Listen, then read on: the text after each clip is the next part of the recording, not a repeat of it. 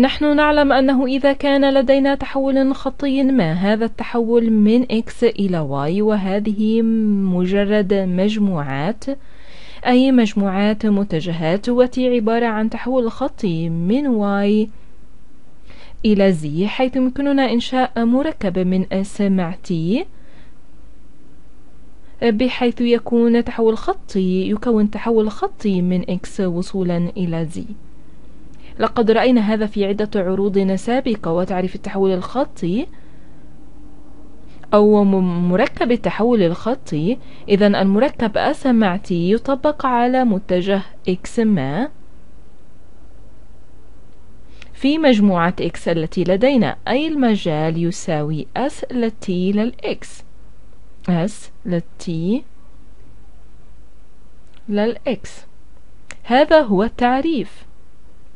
ثم نذهب لنقول انظر إذا آه، أس إكس يمكن آه، يمكن أن يمثل بضرب المصفوفة a آه، x أي أي حاصل متجه المصفوفة وإذا وإذا نتيل x يمكن أن يمثل أو أن أو أن تحول t يمكن أن يمثل كحاصل المصفوفة b مع x لقد رأينا أن هذا وهو بالطبع إذا كتبناه بهذه الطريقة أي يساوي A ضرب T ضرب X أي ضرب B X هذا سيكون مساويا للمصفوفة AB بحسب تعريف حاصل المصفوفة صحيح؟ عندما نأخذ حاصل مصفوفتان سنحصل على مصفوفة ثالثة أي حاصل AP ضرب X. آه إذا نأخذ التحول الخطي الأول في المركب الذي لدينا أي مصفوفته وهي A ونأخذ الحاصل مع المصفوفة الثانية. هذا كاف. جميع هذا كان عبارة عن مراجعة. دعونا نأخذ ثلاث تحولات خطية. دعونا نفترض أن لدي تحول الخطي H وعندما أطبق ذلك على المتجه X إنه مساويا لضرب المتجه X بالمصفوفة A. لنفترض أن لدي تحول الخطي G. عندما طبقت ذلك على المتجه X فإنه مساويا لضرب ذاك المتجه. إنه مساويا لضرب ذاك المتجه بالمصفوفة B. ثم لدي التحول الخطي F عندما يطبق على المتجه X يكون مكافئا لضرب ذلك المتجه X بالمصفوفة Z. الآن لدي فضول لأعرف ما سيحدث عندما أخذ مركب ال H مع ال G ثم أخذ مركب مركب. ذلك مع F جميعها تحولات خطية.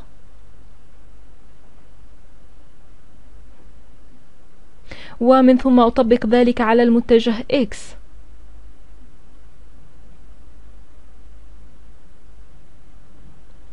وهو بالضرورة سيكون موجودا في مجال هذه.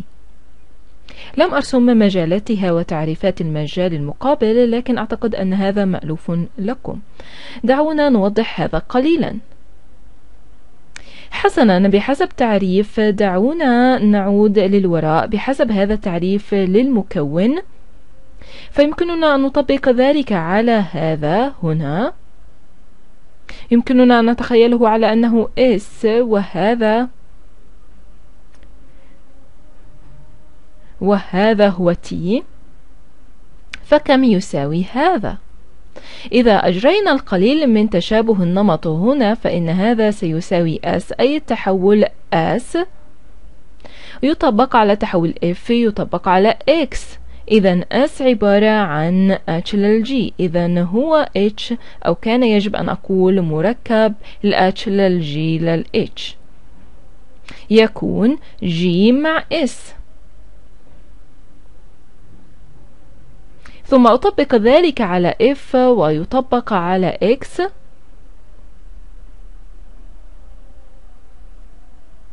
F عبارة عن t. وأطبق ذلك على f ويطبق على x ويطبق على x هكذا.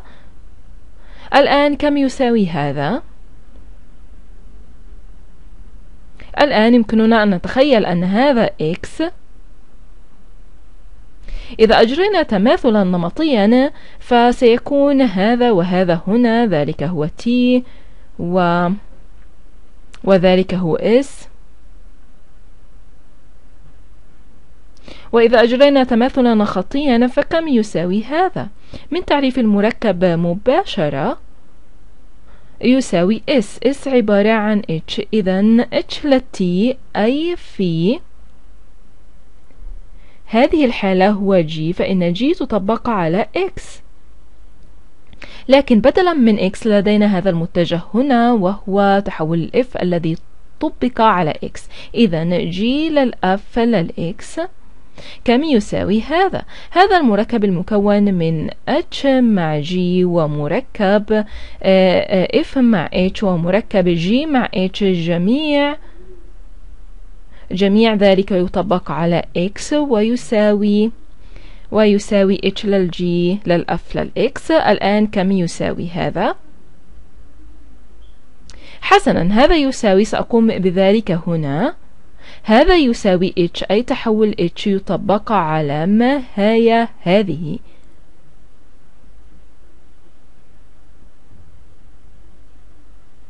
سأكتب ذلك باللون الوردي ما هذا؟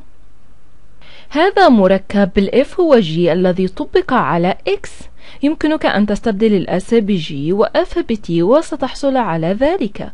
هذا مساوي للمركب g مع f G مع F الذي طبق على X ذلك كله عبارة عن هذا. الآن كم يساوي هذا؟ ربما أنه من المربك أن ترى قوسان بلونان مختلفان كم يساوي هذا؟ حسنا عندما نعود لتعريف المركب أريد توضيح ما أفعله جيدا هذا إذا تخيلتم لو أنه T وهذا وهذا S فإن هذا مركب S مع T الذي طبق, طبق على X وهذا يساوي سأكتبه بهذه الطريقة هذا يساوي لا يجب أن أكتب S هذا آه هذا مركب ال H آه مع مركب ال G و F ثم أن جميع ذلك يطبق على x الآن لماذا قمت بجميع ذلك؟ أولا حتى أوضح لكم أن المركب تجميعي. وضحت كل هذا ثم عدت ووضحت هذا ولا يهم المكان الذي تضع فيه الأقواس. فمركب H مع G مع F مساويا. لمركب ال H مع مركب G و F حيث أن هذان متساويان. وهذان يمكنك أن تعيد كتابتهما ففي الواقع الأقواس غير ضرورية. يمكنك أن تكتب هذا كمركب كمركب H مع G مع F كل ذلك يطبق على X. الآن سأخذ وقتي لكي أقول أن كل من هذه التحولات الخطية يمكن أن تمثل كضرب مصفوفات. لماذا قمت بذلك؟ حسنا لقد رأينا من قبل أن أي مركب عندما نأخذ مركب أسم مع تي فنموذج المصفوفة لهذا التحول لهذا المركب سيكون مساويا للحاصل بحسب التعريف حاصل مصفوفة ضرب مصفوفة فإن حاصل تحول المصفوفة S وتحول المصفوفة T كم يساوي كل من هذا؟ هذا إذا فكرتم بهذا التحول هنا أي هذه العبارة ونموذج مصفوفتها دعوني أكتب ذلك نموذج المصفوفة لمركب G مع H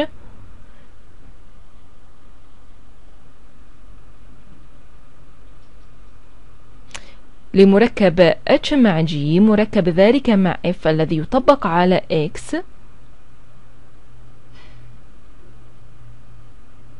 سيساوي وقد رأينا هذا من قبل. حاصل هذه المصفوفات. إذا هذا المركب مصفوفته ستكون AB و G و H ستكون AB سأضعها بين الأقواس. ثم نأخذ تلك المصفوفة ونأخذ الحاصل. حاصل تمثيل مصفوفة هذا هو AB أليس كذلك؟ وتمثيل مصفوفة هذا هو C. إذا تمثيل المصفوفة هذا ككل عبارة عن هذه أي آخذ حاصل AB ثم نأخذ حاصل ذلك مع C. إذا AB ثم C. ثم إذا آه، ألقيتم نظرة إلى هذا وبالطبع جميع ذلك مضروبا بالمتجه A ضرب جميع ذلك مضروبا بX بالمتجه X. ذلك هو المتجه X. الآن دعونا نلقي نظرة على هذا. إذا أخذنا مركب ال H مع مركب ال G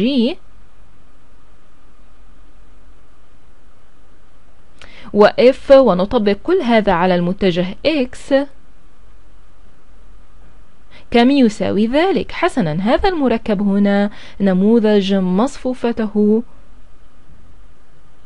أعتقد أنه يمكننا أن نقول أنه سيكون الحاصل ضرب A و B وسنطبق ذلك على X ونحصل على الحاصل B و C. ثم سنأخذ حاصل ذلك مع تمثيل مصفوفة هذا وهو A. وقد وضحنا ذلك من قبل. لم نقم بتوضيح باستخدام ثلاثة لكنه يمتد سأوضح امتداداتها ويمكنك أن تستمر في تطبيق التعريف. يمكنك الاستمرار بتطبيق هذه الخاصية هنا وهي تمتد بشكل مستمر لأنه في كل مرة يأخذ مركب شيئان بالرغم من أننا نتحدث عن مركب من ثلاثة فنحن نأخذ مركب من شيئان أولا ومن ثم نأخذ التمثيل مصفوفته ثم نأخذ مركب ذلك مع شيء آخر. إذا تمثيل المصفوفة للمركب جميعه سيكون هذه المصفوفة ضرب هذه المصفوفة. كما فعلت هنا وبالمثل هنا نأخذ أولا مركب هذان. التحولان الخطيان وتمثيل مصفوفتهما سيكون هذا ثم نأخذ مركب هذا مع ذلك. تمثيل مصفوفته ككل سيكون. هذه المصفوفة ضرب هذه المصفوفة. أي A ضرب BC وبالطبع جميع ذلك يطبق على المتجه X. الآن لقد وضحت في هذا العرض أن هذان متساويان. إذا كان أي شيء الأقواس غير ضرورية. وقد وضحت هذا هنا كلاهما سيصبحان في النهاية H لل G لل F لل X. إذا هذان متساويان. ويمكننا أن نقول أن هذان الموجودان هنا متساويان. أو أن AB أي الحاصل AB ثم نأخذ حاصل تلك المصفوفة مع المصفوفة C مساويا لأخذ حاصل A مع المصفوفة B C. وهي مصفوفة حاصلة جديدة. أو بطريقة أخرى أن هذه الأكواس لا تؤثر حيث أن هذا جميعه يساوي A B C. أو أعني أن هذه العبارة توضح أن النواتج المصفوفة تبين خاصية التجميع.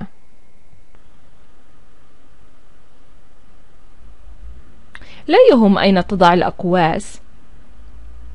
وكما تعلمون أنه في بعض الأحيان تكون كلمات أنها تعني أنه لا يهم أين تضع الأقواس آه، ونواتج المصفوفة لا تبين خاصية تبادلية لقد رأينا ذلك في العرض الأخير. وبشكل عام لا يمكننا أن نقول أن AB أن AB مساوي ل BA لا يمكننا أن نفعل ذلك. وفي الواقع في العرض الأخير أعتقد أنه كان آخر عرض وضحت لكم أنه إذا كان AB معرفا فإن BA في بعض الأحيان لا يكون معرفا أو إذا كان BA معرفا فأحيانا لا يكون AB معرفا إنه ليس تبادليا. بل يمتلك خاصية التجميع. في العرض التالي سأرى إذا كانت النواتج المصفوفات توزيعية.